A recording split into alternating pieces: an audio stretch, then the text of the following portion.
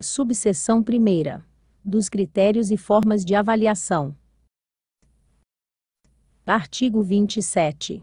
Os critérios de avaliação dos servidores do Poder Executivo Administração direta e indireta são assim definidos. Inciso 1. Assiduidade. Refere-se ao comparecimento com regularidade e exatidão ao local de trabalho. Inciso 2. Disciplina.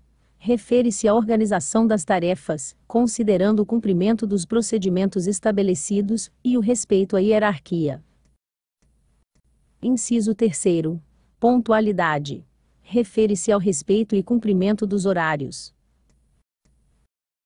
estabelecidos.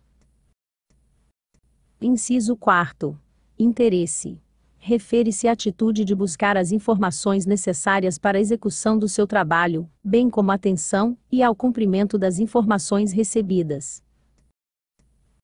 Inciso 5. Observância das normas e regulamentos refere-se à organização das tarefas, considerando o cumprimento dos procedimentos estabelecidos, o respeito às normas e à hierarquia. Inciso 6. Responsabilidade. Refere-se à atitude de executar o que lhe compete de forma correta, sem a necessidade de supervisão constante. Inciso 7. Adaptação, refere-se à postura do servidor face às tarefas, procedimentos e à necessidade de sua atuação no serviço público. Inciso 8. Capacidade de trabalho em equipe. Refere-se à disponibilidade, que apresenta para ajudar colegas e chefia em situações de trabalho. Inciso 9. Capacidade de aprendizado e de desenvolvimento profissional refere-se à atenção do servidor ao serviço, caracterizando-se pela execução correta das tarefas que são acometidas. Inciso 10. Produtividade. Refere-se ao volume de trabalho executado, dentro dos padrões exigidos, em determinado espaço de tempo. Inciso 11. Economicidade refere-se ao uso que faz de seus materiais e equipamentos, considerando o aproveitamento e conservação. Inciso 12. Flexibilidade. Refere-se à capacidade do servidor de adaptar-se a novos métodos e a atender solicitações de trabalho que fogem da rotina, mas que lhe são próprias. Inciso 13. Capacidade de iniciativa refere-se à atitude de agir dentro dos seus limites de atuação no trabalho. Inciso 14. Impessoalidade. Refere-se à ideia de que a administração tem que tratar todos os administrados sem discriminações, benéficas ou detrimentosas. Nem favoritismo nem perseguições são toleráveis simpatias ou animosidades pessoais, políticas ou ideológicas não podem interferir na atuação administrativa, e muito menos interesses sectários, de facções ou grupos de qualquer espécie.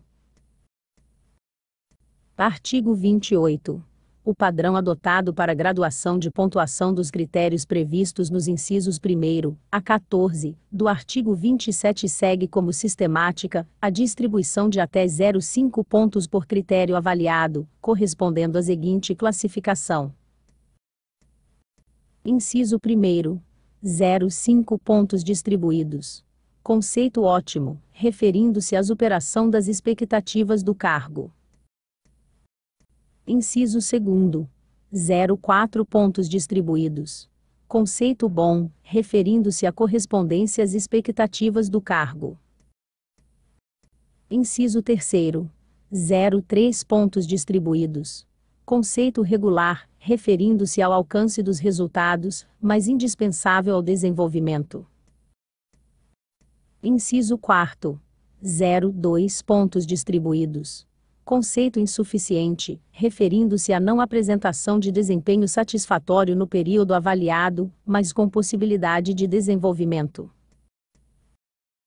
Inciso 5. 01 ponto distribuído. Conceito péssimo, referindo-se à apresentação de desempenho insatisfatório e com impossibilidade de desenvolvimento. Artigo 29 Para obtenção da pontuação final, devem ser observados os pesos descritos no anexo 2 deste Estatuto, efetuando-se a multiplicação dos mesmos e dos pontos distribuídos. Artigo 30. Para obtenção da pontuação geral em cada uma das avaliações de que trata o artigo 1, será feito o somatório dos critérios avaliados, observado o limite de 100 pontos. Artigo 31. Fica estabelecido que a primeira avaliação de desempenho, baseada nos métodos e padrões fixados por esta lei, terá efeito apenas pedagógico, visando principalmente identificar os pontos fracos do avaliando de modo a permitir que este vá se adequar à sistemática de trabalho junto ao município.